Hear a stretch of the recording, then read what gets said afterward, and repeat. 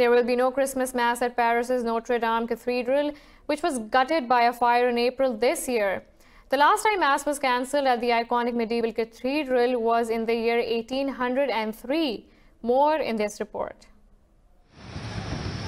Parisians will observe Mass at the Saint Germain l'Auxerrois Church this year. Meanwhile, Notre Dame's rector, Archpriest Patrick Chauvet, has given French Catholics assurances that the cathedral will be open to the public soon.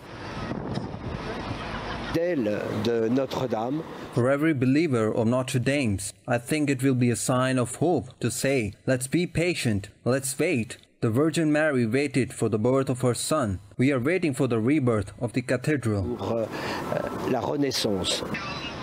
For now, the cathedral remains buried under its melted scaffolding. Removing it will require a special crane, which is currently being assembled.